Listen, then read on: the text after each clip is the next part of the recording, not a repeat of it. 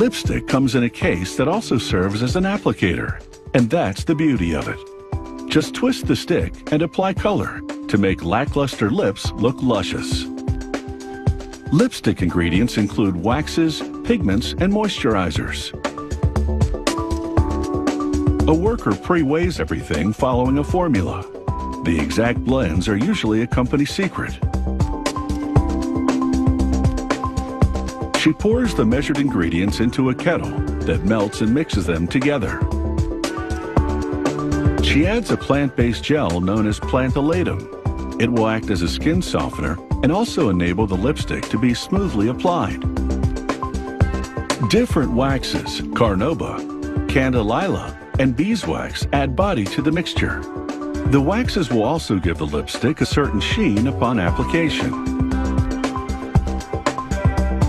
With the base mixture prepared, she now whips up a batch of pigment using different iron oxide colorants.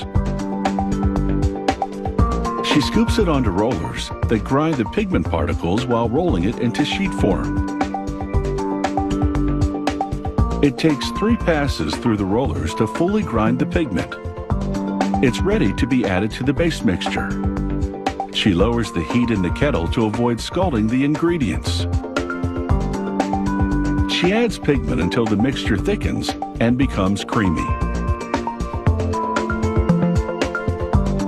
It's now the right consistency to be shaped into lipstick. It's over to the next station where another worker pours the lipstick liquid into a filling machine.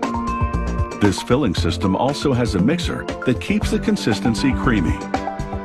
She places a mold under the filling machine and activates a lift. It serves up the mold to nozzles that pump lipstick liquid into the slots of the mold. She continues to fill lipstick molds until the supply in the machine has been depleted.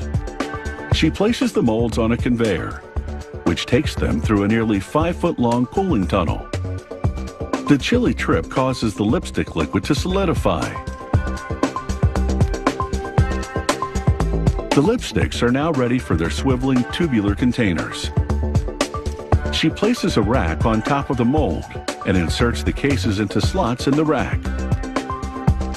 The slots are aligned with the lipsticks in the mold. Then it's over to the turnaround machine. Bursts of air gently push the lipstick out of the mold and up into the cases. To assist, little pushers apply pressure to the bottoms of the cases. The lipsticks have made their transfer without a smudge. She sets them down and removes the transfer rack. On another conveyor, the lipsticks pass by heat guns. The hot air melts the lipsticks just a little to make them shine. Continuing on, the lipsticks travel past rollers that turn the cases to cause the lipsticks to swivel down.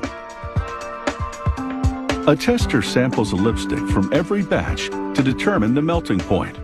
This is important because lipstick should be stable enough not to melt in a purse on a hot day.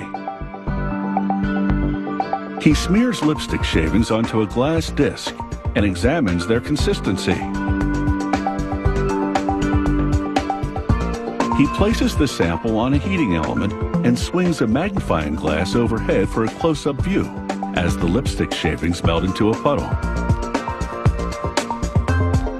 Checking a thermometer, he confirms that the melting point is within an acceptable range.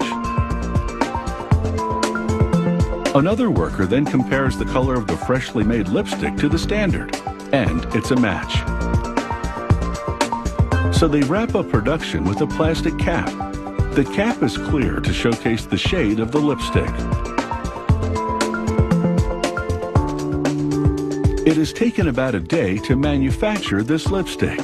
It's time to freshen up.